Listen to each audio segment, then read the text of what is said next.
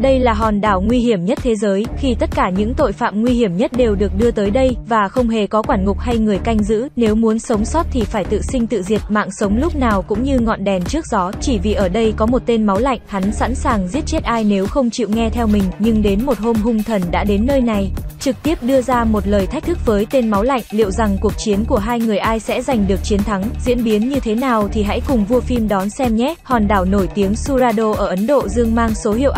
AP101, đây là chỗ ở của những tội phạm nguy hiểm của thế giới. Cô gái Mali là một trong số đó, cô ấy bị đưa lên đảo trong lúc đang mang thai, thế nên đứa con gái cũng chưa bao giờ được đặt chân lên đất liền, mà khi này cô bé đang bị một đám người truy đuổi, ngay khi cô sắp bị bắt lại thì Mali kịp thời tới nơi, nhưng vì kẻ địch quá đông hai mẹ con chỉ có thể tiếp tục bỏ chạy cho đến khi ra tới bờ biển, biết rằng không còn đường thoát nữa Mali kêu con gái chạy trước còn mình sẽ ở lại cầm chân đám người. Tuy vậy thì một mình không thể nào chống chọi được với đám đàn ông to khỏe này, Mali rất nhanh đã bị bọn chúng chế ngự, một tên khi này mới bảo đám đàn em đuổi theo con của Mali, còn Mali cứ để lại cho hắn xử lý, thấy con gái gặp nguy hiểm cô vùng lên tấn công, nhưng rất nhanh đã bị hắn ta đánh ngã, đúng lúc này thì đứa con gái cũng bị bắt lại, bất ngờ phía trước lại có kẻ đeo dọ mõm bước tới, thì ra đây là một tù nhân mới được đưa đến đây, thấy vậy đám người kia liền lao đến tấn công, tuy rằng đã bị trói chặt tay, nhưng người đàn ông đeo mặt lạ vẫn rất mạnh, đám người vốn không phải là đối thủ của anh ta, rất nhanh cả đám đã bị anh đánh bại, qua đó thành công giải cứu đứa nhỏ, ở phía xa khi này Mali đã bị tên côn đồ đánh đến mức ngất đi, hắn đang tính làm trò đồi bại thì con của Mali chạy về kịp ngăn cản, đổi lại thì cô bé cũng bị đánh cho ngã lăn ra, đúng lúc này người đàn ông kia xuất hiện, chỉ cần dùng mấy chiêu đơn giản đã làm cho đối thủ xây sẩm mặt mày, rồi anh hỏi hắn một người tên Kun, nhưng đây là đại ca của hắn đâu? Dễ gì nói ra, thế là không nhiều lời anh đánh cho hắn ngất lịm, sau đó cứ thế lặng lẽ rời đi.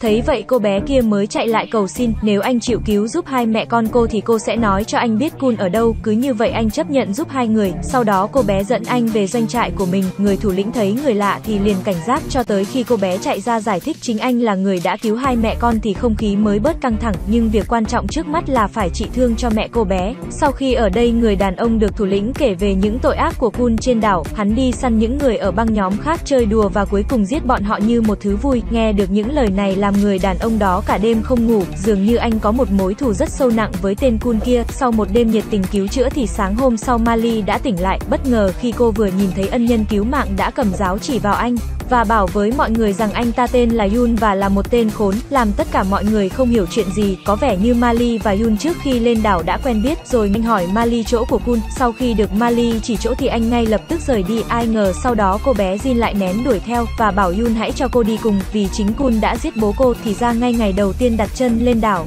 hắn ta đã tạo ra một màn thảm sát kinh hoàng, bố của Jin cũng là nạn nhân của vụ thảm sát đó, từ đó hắn đã trở thành một thế lực trên đảo, nếu ai dám chống lại thì chắc chắn sẽ nhận một một cái kết bi thảm, ai ngờ đúng lúc này hai người phát hiện ra một số người chết mà trong số đó lại có cả chú của Jin, tuy vậy thì đây chỉ là một cái bẫy để đám người kia bắt cô bé đi. Đúng lúc này Mali ở trại cũng đã phát hiện con gái bỏ đi, làm tất cả mọi người phải nhanh chóng lên đường, phía khác Yun cũng đang đi tìm Jin, anh trực tiếp xông vào nhà tù của Han, những người bị nhốt ở đây chẳng khác nào địa ngục, sống không bằng chết. Đúng lúc này một đám bảo vệ đã phát hiện ra anh, bọn chúng ngay lập tức tập trung lực lượng, tuy vậy thì lại chẳng bỏ bèn gì với Yun. Vào đến đâu là chết đến đó, rất nhanh bọn chúng đã nằm kín sàn nhà, mà lúc này cô bé Jin đã được đưa tới trước mặt tên người nước ngoài, ai ngờ đúng lúc này cô bé hét lớn, làm Yun bên ngoài cũng nghe thấy, mở cửa bước vào thì thấy rất nhiều tên đàn em ở đây, bọn chúng cũng ngay lập tức xông lên, nhưng kết cục cuối cùng của bọn này cũng vẫn là đi ngắm gà khỏa thân. Đến cuối cùng chỉ còn một mình tên nước ngoài, hắn bước ra với vẻ mặt vênh váo, lợi dụng được sải tay dài mà đấm được Yun một phát, nhưng đấy là tất cả những gì hắn ta làm được vì Yun đã nổi giận thì cơ hội sống của tên này cũng hết, nhìn thấy những hình ảnh ghê rợn này Jin vô cùng sợ hãi, ngoại trừ Kum ra thì trên đảo này không có ai ra tay máu lạnh như vậy.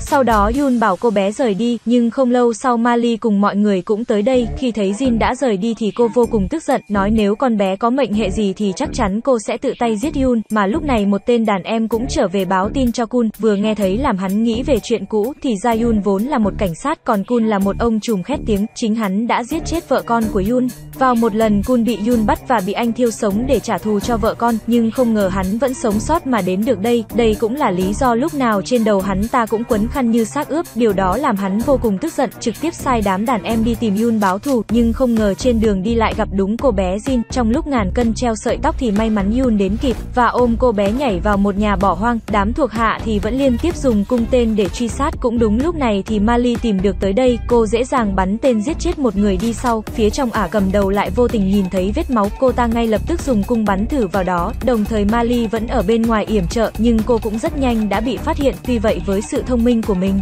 thì Mali đã thành công dụ được tên cầm đầu ra và thành công dùng một mũi tên để giết chết cô ta. Sau đó Mali nhanh chóng chạy vào bên trong tìm được con gái. Rất may cô bé không làm sao, nhưng Yun thì lại bị trúng một tên. Khi này anh đã bất tỉnh nhân sự. Tuy rằng vậy thì Mali đã không bỏ mặc cô nhẹ nhàng sơ cứu vết thương cho anh. Không lâu sau thì người của họ cũng tìm được hai mẹ con. Sau đó thuận lợi đưa anh về doanh trại, nhưng khi kiểm tra mới phát hiện anh đã trúng kịch độc từ mũi tên. Rất có thể Yun sẽ không giữ được mạng sống. Tuy vậy thì Mali vẫn luôn ở bên cạnh chăm sóc ai ngờ đúng lúc này quân của Kun đã tìm tới tận đây, nếu bọn họ chịu giao ra Kun thì hắn sẽ tha chết cho, nhưng bằng giá nào Mali cũng không đồng ý, thế là bọn chúng ồ ạt lao xuống chém giết. Cho dù đã cố gắng chống trả nhưng đã rất nhiều người đã chết, trẻ con phụ nữ bọn chúng cũng không tha. Mali nhìn cảnh này mà vô cùng đau xót, còn thủ lĩnh thì cũng bất lực, thậm chí Mali còn bị tên cầm đầu đánh, mà cô không thể làm gì chỉ biết đứng im chịu trận. Đúng lúc hắn định giết cô thì thủ lĩnh lao ra đỡ hộ, bên trong Jin thấy mẹ gặp nguy hiểm cũng chạy ra, nhưng với sức lực của một đứa trẻ thì có thể làm gì, chẳng khác nào tự tìm đến cái chết. Đúng lúc đó từ trong nhà Yun bước ra, anh đã từ cõi chết trở về, làm cho ai cũng phải bất ngờ. Tên chỉ huy cũng ngay lập tức gạt Jin sang một bên. Tuy vậy thì Yun vẫn rất yếu,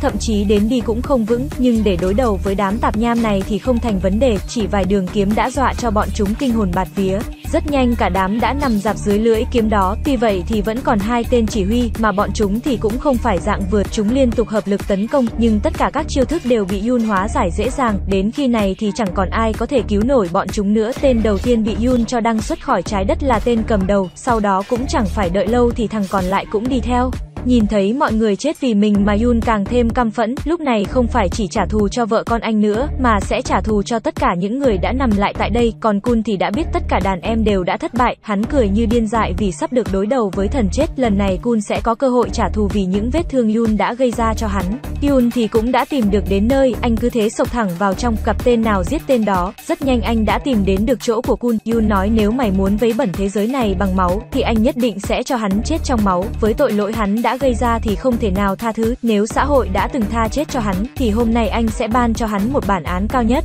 Nói xong cả hai cùng nhau bước vào cuộc chiến, ai cũng có mối thù phải trả với người còn lại, cứ mỗi đòn đánh tung ra đều muốn lấy đi mạng của đối phương, một người là ông trùm tổ chức xã hội đen, còn người kia là cảnh sát chuyên bắt tội phạm nguy hiểm, hai người dường như không phân được cao thấp cùng nhau ăn miếng trả miếng, nhưng người ta bảo cái ác không bao giờ thắng được cái thiện. Sau một hồi giao chiến Yun đã chiếm được ưu thế, liên tục ra đòn về phía đối phương, ăn quá nhiều đòn làm Kun không thể chống đỡ, mà chỉ biết đứng im chịu trận. Cuối cùng Yun dùng một đòn mạnh vãi nổi đánh ngã hắn, ai ngờ Kun vẫn ngoan cố bỏ dậy, sau đó lại cầm lại cỏ kỳ lạ bỏ vào mồm nhai, dường như đó là lá đu đủ Việt Nam, ăn vào sẽ tăng 100% sức chiến đấu. Quả nhiên Kun sau đó vẫn tiếp tục ăn đòn, và bị Yun dùng chính cái đầu của mình dập chết, cứ thế anh đã báo thù thành công cho tất cả mọi người. Sau đó Yun rời khỏi hòn đảo, từ đó trở đi không ai còn thấy anh nữa nữa, còn cô bé Jin thì ngày nào cũng ra ngồi trước bãi biển, mong rằng một ngày Yoon sẽ quay lại. Phim đến đây cũng hết rồi, xin chào và hẹn gặp lại các bạn ở bộ phim tiếp theo bye bye. Cảm ơn mọi người đã chú ý theo dõi. Nếu mọi người thích video này,